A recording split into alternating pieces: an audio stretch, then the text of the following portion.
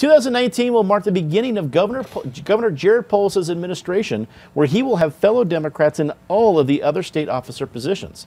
The legislative session will open with a Democratic state House and Senate and new leadership in both wings of the Capitol. How Democrats will utilize their complete control of the levers of government in Colorado remains a big question heading into next year. Patty, Democrats running the legislature and the governor's office, kids in a candy store or responsible adults? Somewhere in between, probably adults with a sweet tooth, I think is what we'll see because there are people who have all their pet projects and they are going to want to really take a bite out of as many of those as possible. Will there be enough uh, sane and sober heads to prevail on things that are just way too pie in the sky. It's happened before, but it's not the ideal situation for Polis going in just because you like to have someone you can blame, and right now it's wide open. He's going to have a honeymoon of at least, what, 10 days. He gets inaugurated on the 8th.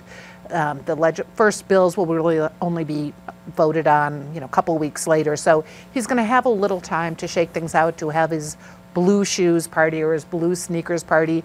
We'll see just how cool Denver looks. I think I want to live in my Denver rather than um, David's, and for that matter, Eric's. Looks like very bad, very bad years. we'll, uh, we'll try to keep it as rosy as we can around here for the uh, next year. Uh, David, in 2013, Democrats did uh, overreach on some topics and paid for it the following year with uh, some uh, recalls in the state Senate. Do you think those are lessons learned, or it's all that be damned, let's just get done as much as we possibly can? I think there, there's a division within the Democrats. Um, you will hear some voices who will assure you that at least at the leadership levels, uh, they know that repeating the, the wild rumpus of 2013 uh, is fun as it may be at the time, uh, is destructive in the long run. But the uh, the Jacobin element in the Democratic Party is stronger than it, it, it's ever been. So there are absolutely plenty not just a few, which there always are, but plenty of, of real hardcore ultras on lots of issues. And you know, we're now in a situation where you're you're on the third backup system, uh, which is in this case it, it's the governor's good instincts, um, and he's he's been uh, strong on education reform. So I think at least on the there are folks in the party who would like to as much as possible, wipe out charter schools and, and all forms of educational choice.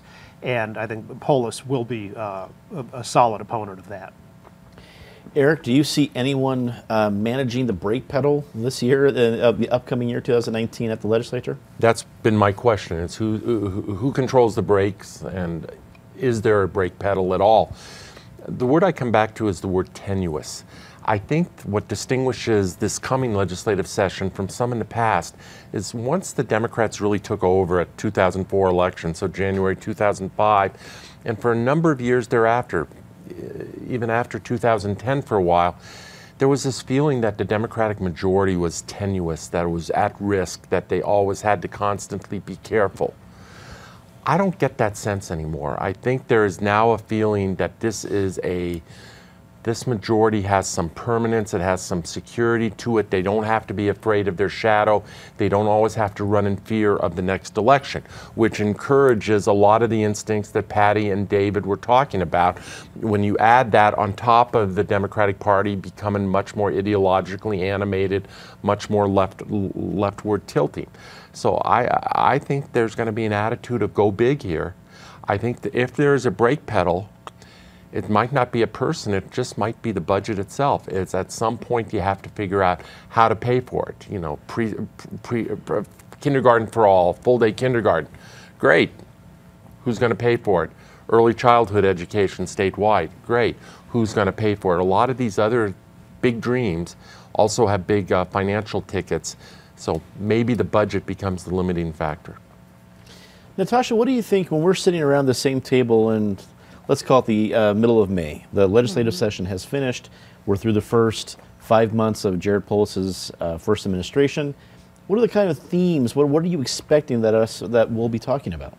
I think we'll be talking about this very question. How much um, did they get away with? Did was there just this this very progressive um, agenda that was pushed through? I, I have to say, I don't necessarily envy that position that they're in because anything that they will be that will be passed will be done so under the cloud of, well, they're just getting this through because they have control of all three um, areas, and and whether that's justified or not. And then in addition to that, anytime they they stretch, it's going to come up as well. So they have this this difficult line to walk between following through on campaign campaign promises, and they made plenty of those. I mean, from healthcare to education to transportation and beyond. So how many of those can they follow through with to make sure they get elected? But how many? How do they also make sure that they don't go through with too much so that they don't get reelected. And that's going to be a difficult line for them to figure out this, this session.